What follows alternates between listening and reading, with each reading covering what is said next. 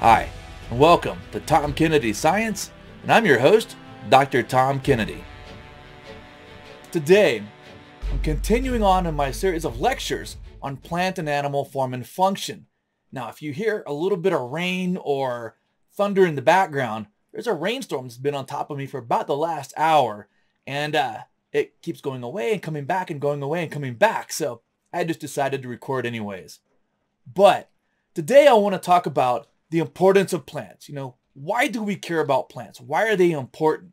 But I do think it's important for us to build connections to plants. Because if we don't really relate to plants or we don't really care about plants, it's hard to learn about them. So I'm hoping that after this lecture, you'll have a little bit more appreciation for plants, maybe a little bit more of a connection to them, and that way they'll seem a bit more exciting to learn about. The first thing I'm going to talk about is how plants have been crucially important for the evolution and diversity of life on this planet. I mean, they've had plants have had an amazing impact on life on this planet. And today, plants remain incredibly important. They provide us different types of ecological services. They're important for our civilization for lots of reasons. We get medicine from them. And plants are good for our well-being. I mean, how many of you have a flower garden or like to grow your own vegetables? I'm not very good at growing vegetables, but I definitely I plant trees and I have a flower garden. I like taking long walks in the woods and I get a lot of satisfaction over growing stuff.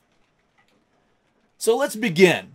You know, why plants are important. And I think uh, we're going to do a little bit of evolutionary history here. I know plant animal form and function, but hey, evolution matters, right? I mean, Dobzhansky said, nothing in biology makes sense except in the light of evolution. And I take that to heart because that's the central paradigm of our of our field. So plants have had an enormous impact on the evolution of life on this planet and even geology as well. So obviously, you know, one thing that plants do is they do photosynthesis. You know, they're taking carbon dioxide out of the atmosphere, water out of the ground or out of the water, and they make sugars out of the carbon dioxide. They fix the carbon into usable forms, but they release oxygen.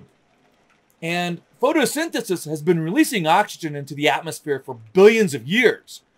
And with the advent of the first plants, whether it's a, a billion years ago or seven to 100 million years ago, plants have been releasing oxygen into the atmosphere. And when they moved on to land, they began to really add even larger amounts of oxygen to the atmosphere. And this graph shows it. And I, interestingly, you can see the bump up in oxygen levels by percent volume in in uh, the Earth's atmosphere in about 600 million years ago.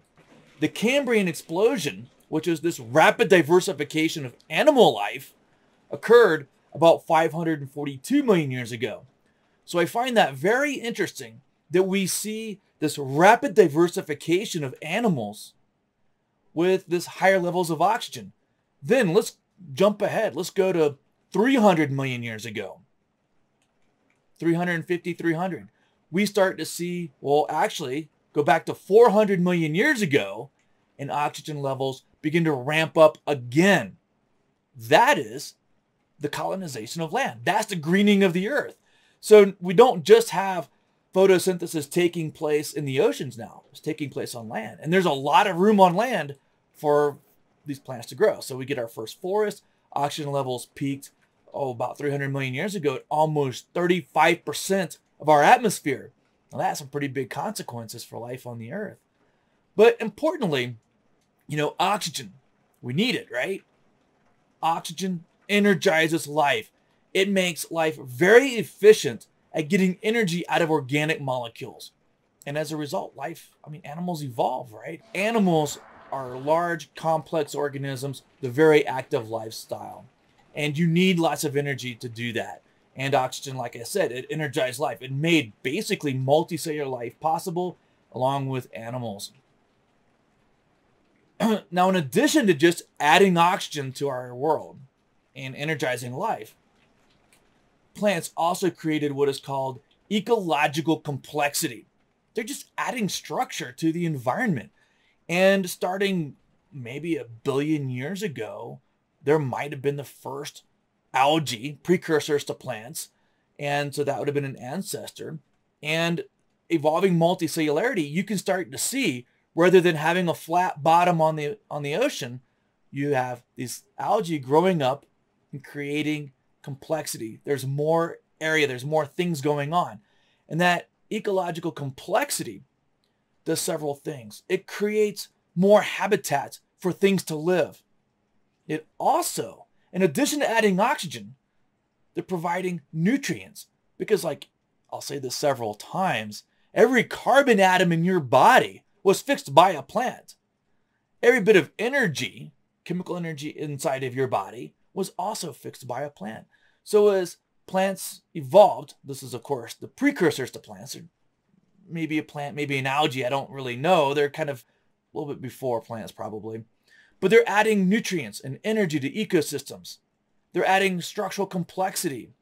So you can see plants are doing a lot for us, right? And in fact, I mentioned that about 542 million years ago, we entered a time period called the Cambrian.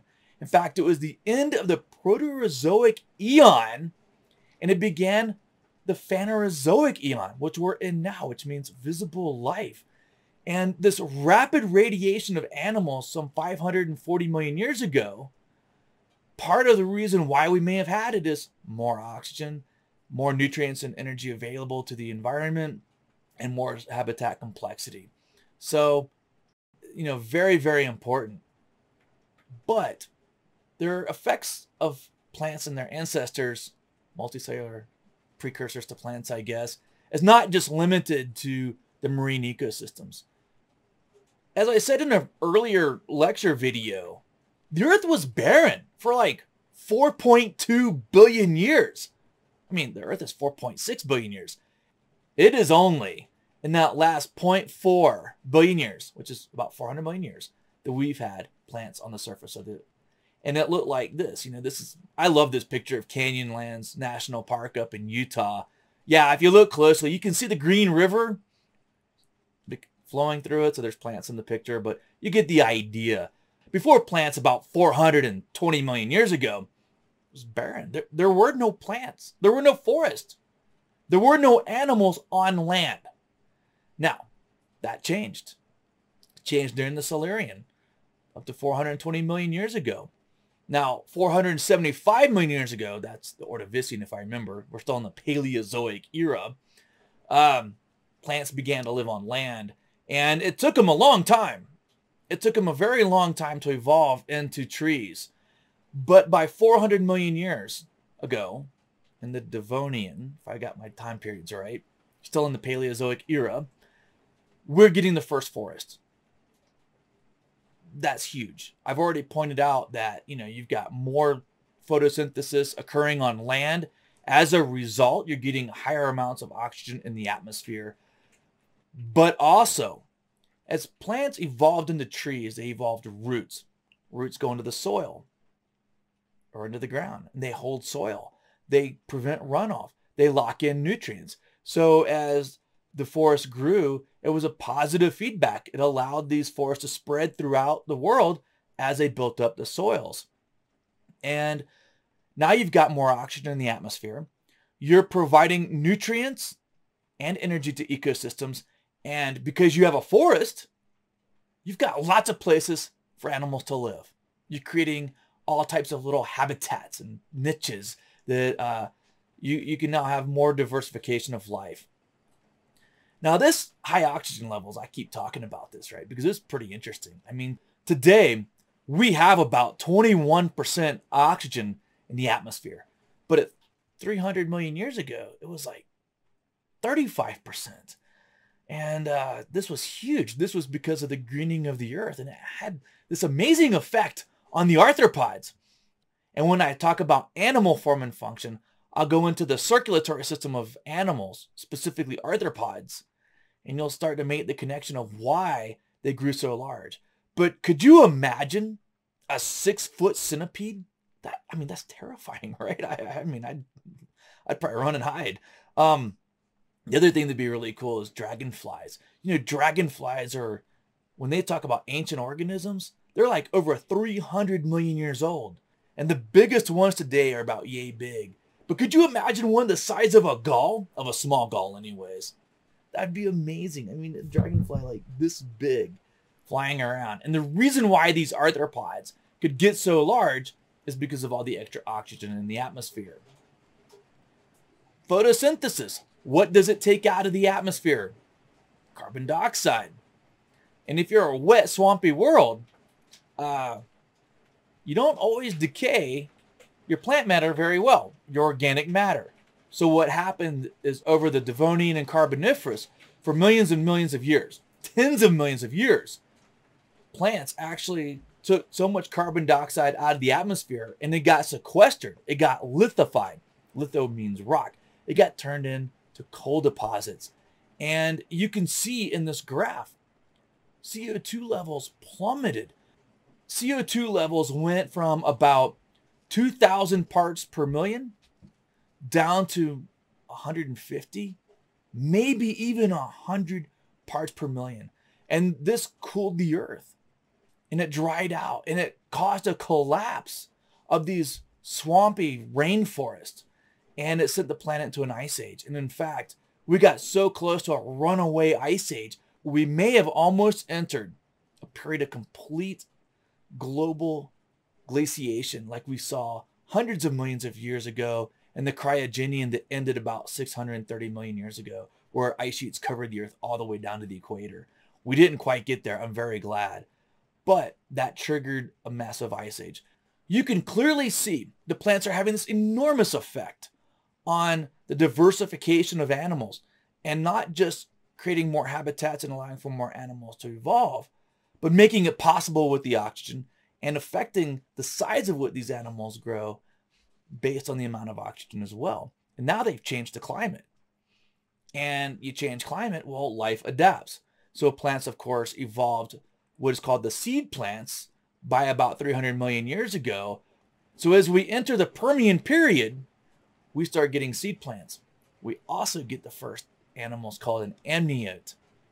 I know I'm talking about animals again, but you, me, birds, and reptiles are all amniotes. Internal reproduction has an egg, things like that. Uh, and in fact, if you look at this picture, you can see this lizard-like thing with these big fins. That's Dimetrodon. That's an ancestor to mammals. Not, it's not a lizard. That's not a reptile. Kind of cool. I know, I know animals, but I'm gonna talk about them again. Let's jump ahead. We're going from 300 million years ago which is still millions of years before dinosaurs showed up, like 70 million years. We're going to go to the early Cretaceous. So now we're in the Mesozoic era, better known as the age of the dinosaurs. Sometime around 135 million years ago, flowering plants evolved. And these first flowering plants, they attracted pollinators, insect pollinators. And one of these themes that I want to hit hard here is diversity gives rise to diversity.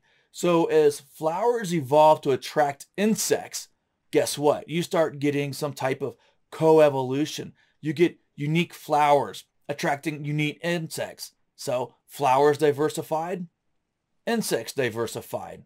And, you know, these are different types of pollinators, bees and butterflies, wasps, and also um, flies. Guy, brain farted there. Now, if you've got pollinators coming to your flowers, guess what? You're going to have predators waiting there to ambush them. And uh, I took this series of photos in North Florida. It's pretty cool. That's a bumblebee. And that plant is called a pickerel weed. And I was taking photos. I was about, you know, waist deep of water, wandering around the edge of the river. And uh, I saw the, the bee. I looked away at a bird. And then I turned around and that bee was nailed by that green lynx spider. So there's a predator. There's another green lynx spider. You know, you don't have to go to crazy places to see these things. This is taken in my mom's flower garden. And that's a green lynx spider eating a candy striped leafhopper. So the idea is if you've got pollinators, you've got different types of predators to go after those pollinators. Here's another one, crab spiders. Go look on your flowers. You'll probably find these. ambush predators. Now, what's interesting is for years, we always thought that they were yellow to be camouflaged, or they would kind of match the flower to be camouflaged. Um, and we just assumed that was right. But it just goes to show in science, you have to test your hypotheses. Turns out that if you're an insect, you can see in the ultraviolet. These spiders actually make the flower brighter to help bring in the pollinator, not camouflaged at all. Here's more predators. Yeah, I know that guy's just hanging out, you know, eating an insect. That's a robber fly. There's a couple of different assassin bugs. Yeah, so more predators, lots of predators. And then not only do you have predators, you also get mimicry. So here's an example. You don't mess with bees. Bees will sting you. So if you look like a bee, leave it alone. So some animals have evolved to look like bees. On the top left, that is a fly. I know, it's a flower fly. And it has evolved to look like a bumblebee. And on the bottom left, that's a beetle. I promise you. It's a beetle also mimicking to look like a bumblebee. So you're starting to see diversity gives rise to diversity. And then ah, nature is brutal. This is a female wasp. It's attacking a caterpillar. It's going to lay her egg in the caterpillar. The egg will hatch, eat the caterpillar from the inside out, leaving all the vital organs intact. And then finally, when the wasp is ready, it will morph into the adult and bust out of the caterpillar, killing it. Nature is brutal. I think I made a pretty good case of why plants are important evolutionarily. Let's talk about ecologically. And we're going to go through how they stabilize soils, affect glo- local and global climates, adding oxygen to the atmosphere, and creating habitats. We all know photosynthesis is important. I've already talked about this. It adds oxygen to the atmosphere and maintains these high levels of oxygen that we need today. Plants also take carbon dioxide out of the atmosphere and put it in carbohydrates. And we say it fixes carbon dioxide. Now, importantly, by doing that, it's making those nutrients available to you. So basically all of us animals, we get our carbon and all of our other nutrients and energy either directly from plants or by eating animals that eat plants. So as you can see, um, incredibly important. Also, just like in evolution, plant roots stabilize the soil. They prevent runoff. They allow water to soak in. That allows the water to soak in and be absorbed by plants. And then the plants will release the water through their leaves. That's called evapotranspiration. That is the amount of water leaving the plant and it has to get it from its roots. And um, how fast a plant grows depends on its rate of evapotranspiration. And when you go down to a rainforest like the Amazon, the rate of evapotranspiration is incredibly high.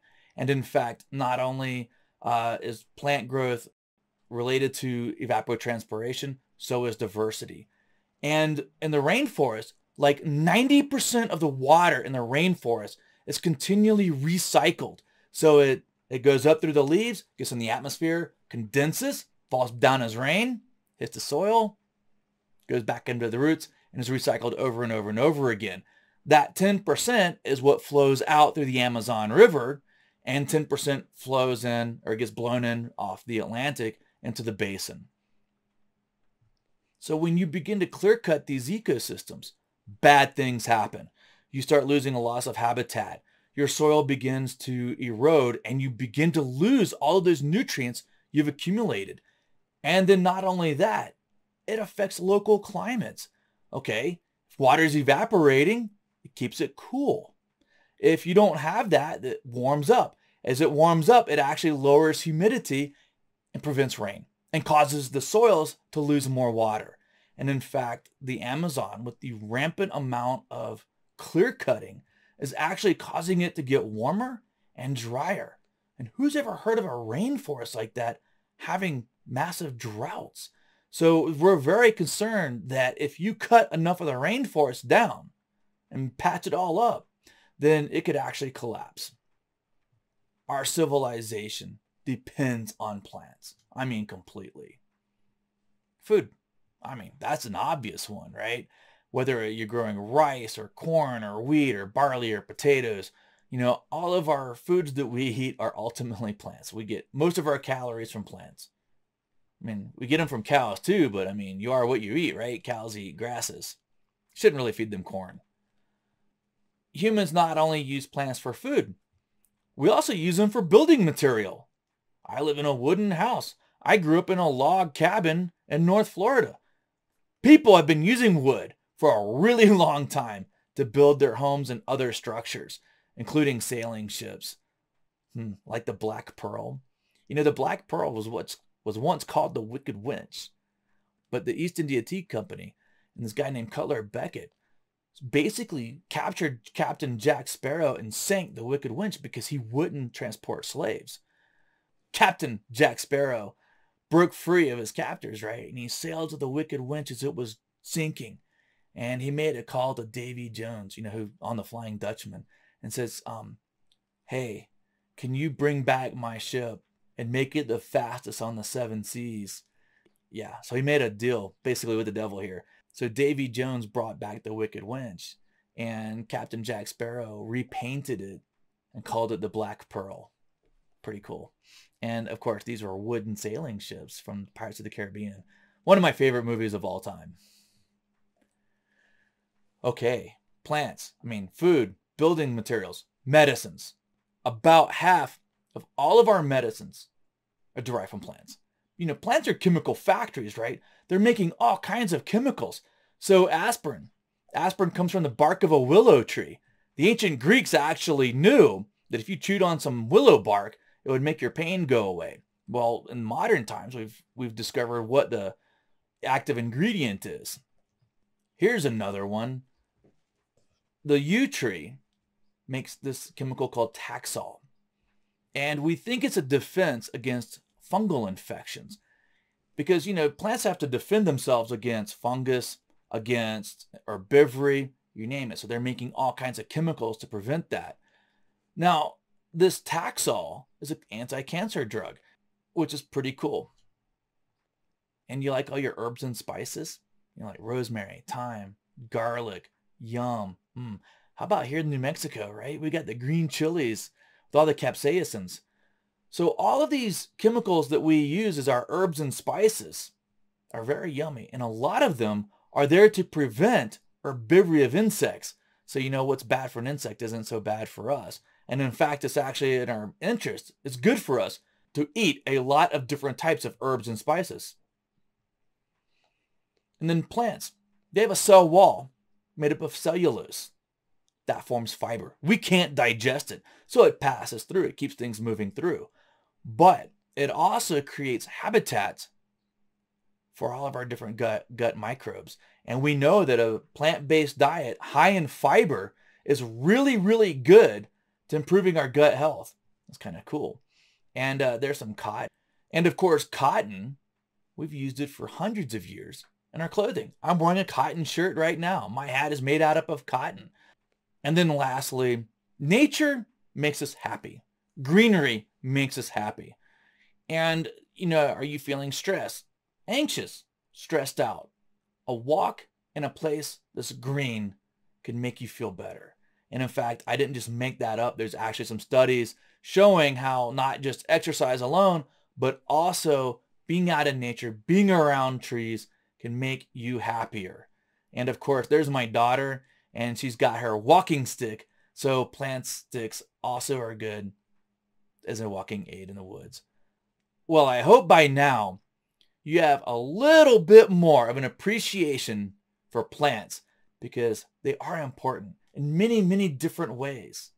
Okay, until next time, I think we're going to start some serious form and function on the next series of videos. This has been Tom Kennedy Science.